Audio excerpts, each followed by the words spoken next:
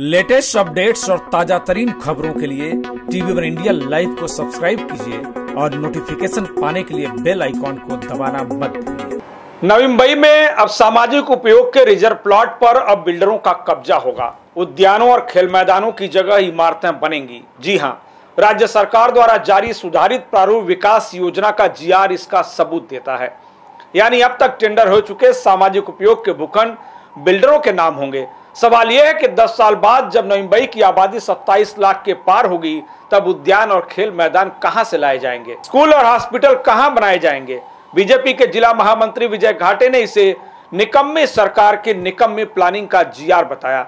उन्होंने कहा कि आज नवी मुंबई देश के रहने लायक शहरों में दो नंबर पर है, लेकिन 10 साल बाद इतनी बदसूरत हो जाएगी कि लोग यहाँ रहने से कतराएँगे।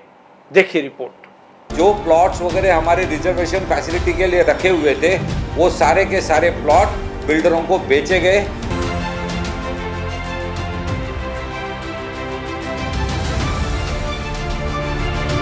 नवी मुंबई महानगर पालिका के टाउन प्लानिंग डिपार्टमेंट उनके हाँ में हाँ मिला के उनका एजेंट करके यहाँ पे काम कर रहा है। ये मेरा स्पष्ट रूप से आरोप है।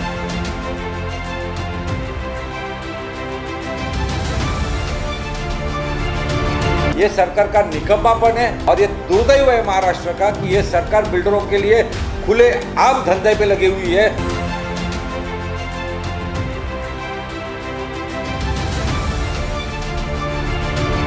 राज्य की महाविकास आघाड़ी सरकार ने नवी मुंबई और पनवेल महानगर पालिका परिक्षेत्र के लिए सुधारित प्रारूप विकास योजना का जीआर प्रकाशित कर दिया है।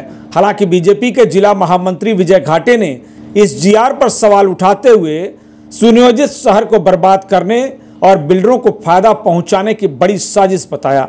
विजय घाटे ने कहा कि सरकार ने जिस तरह सामाजिक उपयोग के आरक्षित भूखंडों की बिक्री से रोक हटा दी है, उससे सिडको द्वारा टेंडर किए गए वो सभी आरक्षित भूखंड बिल्डरों को मिल जाएँगे। जहाँ भविष्य में उद्यान, खेल मैदान, स्कूल, कॉलेज और सामुदायिक विकास केंद्र बनने वाले थे।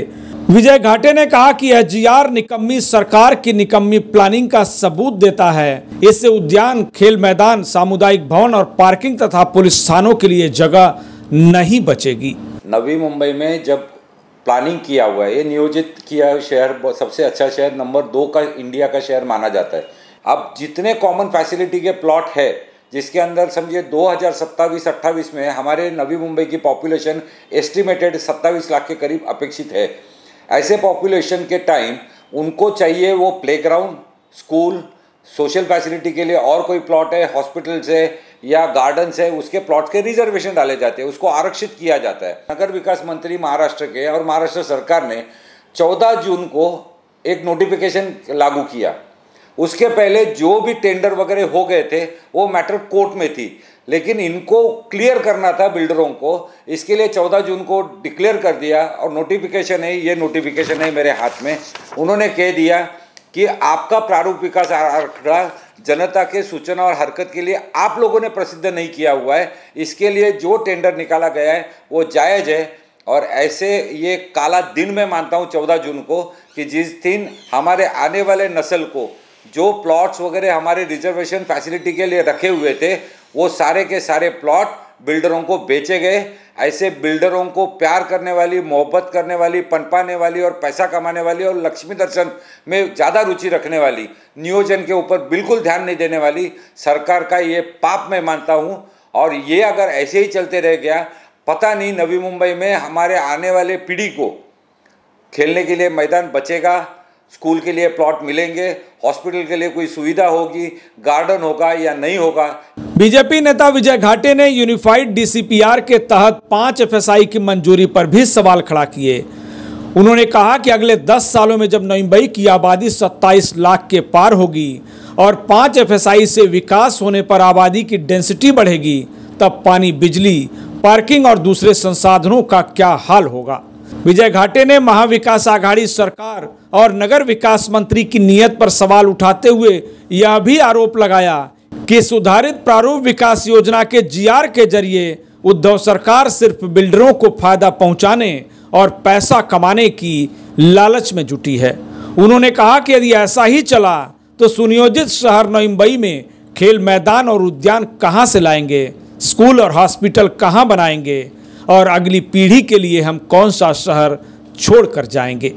मैं आज नवी मुंबईकरों को आपके माध्यम से आह्वान करता हूँ। उन्होंने अपने अपने सेक्टर में देखना चाहिए कि हमारे बच्चे कहाँ खेल रहे हैं। कई सेक्टर ऐसे हैं कि उनके पास गार्डन नहीं है, कई सेक्टर ऐसे उनके पास प्लेग्राउंड नहीं है। इस तरीके के कई सेक्टर आज आज इस अवस्था में 2021 में है। अगर इसी तरीके से प्लॉट अगर बेचे गए, कल को होगा क्या इस शहर का? हमारे बच्चे कहाँ जाएँगे? हमारे पोता पोती कहाँ जाएँगे? इसके बारे में लोगों ने सोचने का वक्त आ गया है। ये सरकार का निकम्मापन है और इस, ये सरकार को जनता का आने वाले नस्ल की सुख सुविधा के बारे में कोई भी पड़ी हुई नहीं है। उनको सिर्फ़ करना है कि बिल्डरों को उठा के प्लॉट देना है। दूसरी बात मैं कहना चाहता हूँ, सोलह जून को इसी सरकार ने आदेश निकाला। जितने कमर्शियल बिल्डिंग्स हैं, उनको पाँच एफ़ करके दे दिया है। मैं कहता हूँ, दो हज़ार सत्ताईस, अट्ठाईस छोड़ दीजिए।